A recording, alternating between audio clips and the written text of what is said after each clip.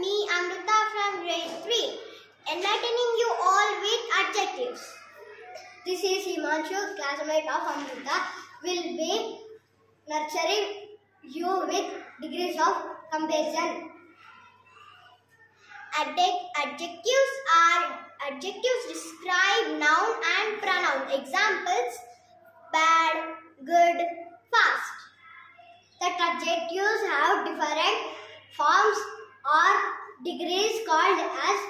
degrees of comparison. There are three degrees positive, comparative, superlative degrees. Our friends will display examples for it. Good, better, best,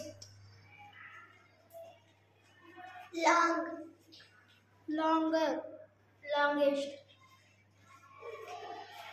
bad, worse, worst, low, lower, lowest, fast, faster, fastest,